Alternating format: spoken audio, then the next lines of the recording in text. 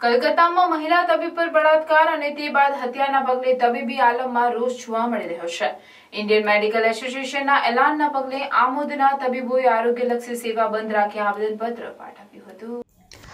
કોલકાતાની medical કોલેજમાં રાત્રિ ફરજ દરમિયાન મહિલા તબીબની ઉપર કેટલાક વ્યક્તિઓ દ્વારા ગેંગરેપ કરી તેનું મર્ડર કર્યું.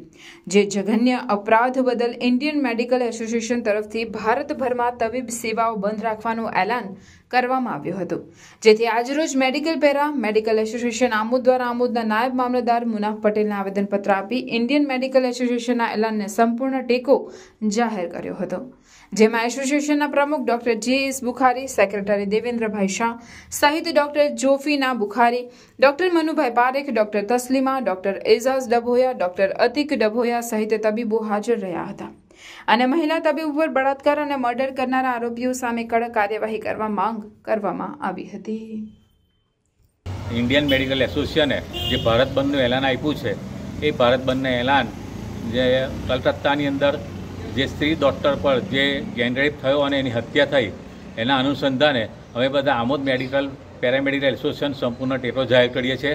અને જે કંઈ વ્યક્તિ એમાં જોડેલા હોય, જે ગેંગરેપ થવામાં જે ડા, અને એનું મર્ડર કર્યું છે, તેમને કડકમાં કડક સજા થાય એવી અમારી સૌની એસોસિએશન વતી માગ છે બધાની.